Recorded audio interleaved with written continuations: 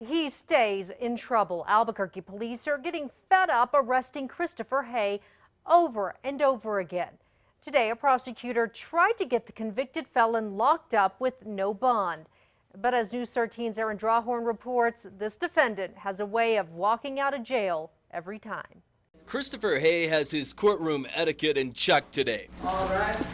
The 31 year old will pay attention and be polite. First, the prosecution's position. The defendant is a dangerous individual who continues to harm this community and will continue to harm this community if he is released. Hay has quite the record. 10 felony arrests in one year is significant. From drugs to stealing cars to break ins, he's the same intruder who ended up in a little girl's bed this time last year. Less than two weeks ago, Hay broke into this business on San Mateo, holding police and SWAT at bay for hours. Identified himself as law enforcement, and all he heard was a male subject's voice say, uh, You better get out of here before you get blasted. The fear his rhetoric could turn into real violence.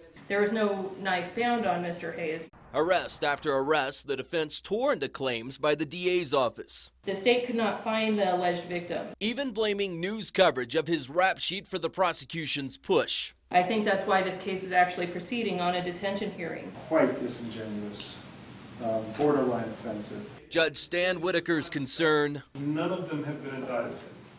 Not a one. No judge. With the cases going nowhere, he gives Hay a break. I stay in contact with my grandma. She lives in Rio Rancho. A suitable place to live, GPS monitoring, no drugs, and a curfew is imposed. You understand that? Yes, sir. If that's the case, then what fool I am uh, to let you out on conditions. Hay is long past the fool me once, shame on me stage. Fool everyone an 11th time. It may be shame on the system. Aaron Drawhorn, KRQE, News 13. Pretrial services will sign off if they feel Hay is a good candidate for his release. If not, he posts 1500 cash and he gets out of jail. Prosecutors are planning to take some of his cases to the grand jury next month.